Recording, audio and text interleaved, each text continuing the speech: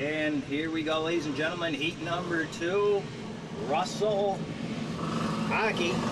Melissa Stevens. George Russell, back the number two. Matt Stevens. Uh, Gary Miller is trying out the Larry Phillips 04 and Shadow Russell with a brand new race cam in his 26. Giving him a quick green here. I thought usually we give him, oh wow, Melissa pulls right up alongside Russell Hockey.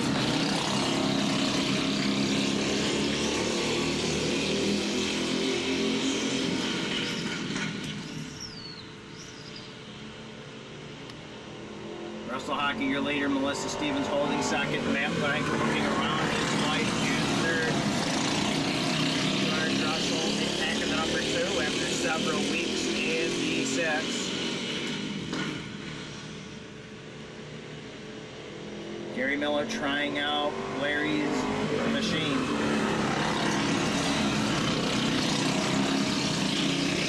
man Shadow oh, Russell doing a good job. He's staying with the pack. That shows he is using that cam. He's staying with everyone. That's a good sign. He has been way up the pace of late, well, forever. Track is pretty good for the most part. If anything, it's a tad bit loose. But Shadow trying to give Gary Miller a run for his money here in fifth place or sixth place, fifth. Oh, oh, oh, Shadow bumps the inside wall, but keeps going. Meanwhile, Russell Hockey is inching away from Melissa. Matt Stevens can't get around his way. We're at the halfway point. Starter up, MC Howell signals. Five of ten laps in this heat. Now, Gary Miller Sr. makes a pass on George Russell. George trying to get him back but it looks like Gary has the quick groove and holds on. George almost did slingshot him back though. They're spacing out a little bit now. Russ, Melissa, and Matt, top three. Shadow has slowed up considerably after his excellent run where he was staying with the rest of the field for about half the race. Russ Hockey,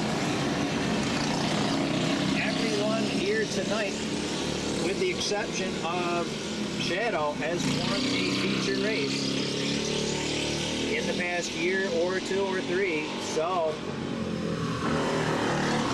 the handicap goes people that haven't won this year points per race and people that have won this year points per race. Shadow now he's he's falling into his bad habit of going too low in the turn. White flag for Russell Hockey. Melissa's actually catching back up to him. Matt's pressuring Melissa for second. He's going to save up that slingshot. Let's see if he's going to use that slingshot on his wife like he does to everyone else.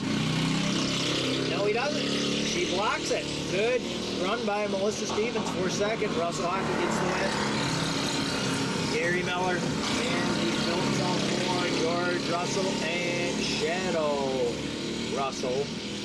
And the 26, oh, he's whipping out that back.